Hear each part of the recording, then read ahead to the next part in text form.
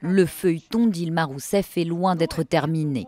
Si cette semaine le Brésil s'attendait à vivre l'éviction de sa présidente accusée d'avoir maquillé des comptes publics, à la surprise générale, le président intérimaire de la Chambre des députés en a décidé autrement.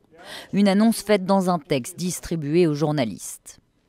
Ce vote constitue un préjugement et porte atteinte au droit à une pleine défense de la présidente. Une décision qu'il justifie par des irrégularités survenues lors du premier vote des députés le 17 avril. L'intéressée, elle, est en plein discours au palais présidentiel lorsque la nouvelle tombe.